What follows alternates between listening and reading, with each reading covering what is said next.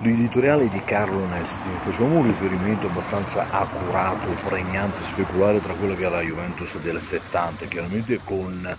un ammontare economico ben più alto, con una possibilità di spendere maggiore, ma comunque con una mentalità similare. Fondamentalmente quella era la Juventus di Boniperti a Lodi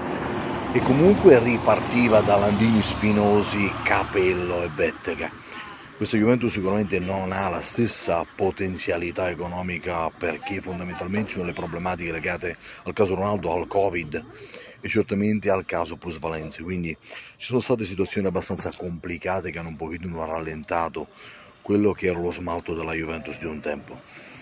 Attualmente Giunto Bravati, Pompilio, questo nuovo dirigente sta facendo un lavoro capillare anche con un aiuto pochettino spiccato della next gen, nel senso che questi giovani che alcuni verranno aggregati alla prima squadra per dare una mano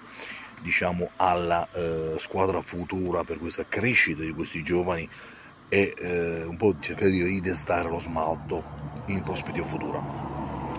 diciamo, dell'emblema Juventus. Ed altri sicuramente andranno sul mercato per generare dei ricavi da poi reinvestire per altri giocatori. Sicuramente una squadra che parte da un buon portiere che è di Gregorio, un portiere abbastanza forte con i piedi, ma anche altrettanto forte nei pali, considerato che è stato uno dei migliori 5 del nostro campionato. E anche uno dei migliori tra l'altro in Europa. Sicuramente eh, rafforzare e dare un po' più di qualità eh, alla difesa, eh, chiaramente con un giocatore che sappia giocare con i piedi che appunto eh, dia una mano a Bremer. È saltato Calafiori per delle cifre astronomiche, la Juventus ha comprato un giocatore, ripeto, che abbia una certa qualità in prospettiva, non solo nei contrasti ma che sappia riavviare l'azione, quello che, per quello che è il credo tattico insomma, di Tiago Motta. Sicuramente un centrocampo, tre posti, un restyling completo da Douglas Luiz a Kefren Turam, giocatori che qualitativamente volti a una prospettiva, ad una crescita, che abbiano il gioco, molto molto bravi quindi nella via dell'azione, contrastano, ripartono, quindi eccellono in qualità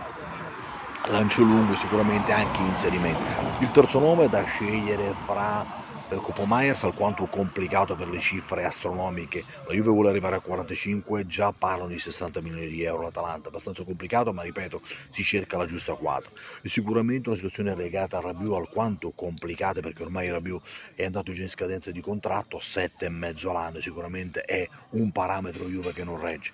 E appena la Juventus avrà piazzato Chiesa, presumibilmente, non lo so, Napoli, Roma, questa è una buona valutazione che farà il giocatore e la società di riferimento o all'estero,